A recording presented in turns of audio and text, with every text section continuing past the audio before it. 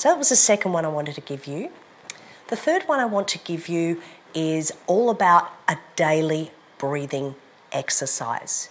It's just a daily breathing exercise. Now, you can stand for this one if you would like to, completely up to you. I'm going to stay seated, but this daily one you can do wherever you happen to be. It's not quite as obvious as the two that we just did.